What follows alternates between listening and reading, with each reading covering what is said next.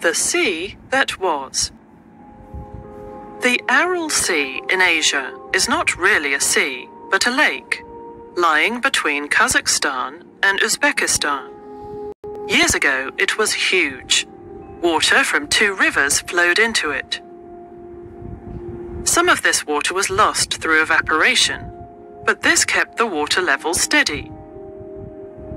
In the 1960s, people started using a lot of water from the rivers for irrigation.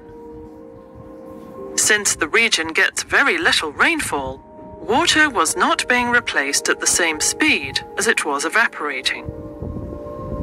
As a consequence, the lake decreased in size.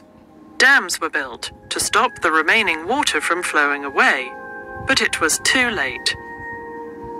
Today, 90% of the lake has dried up. The water that is left is too salty and polluted for fish to survive in. This damage cannot be reversed. It's hard to believe that this small, shallow lake was once the world's fourth largest inland water body. The shrinking of the Aral Sea is evidence of how overusing resources upsets the balance of nature.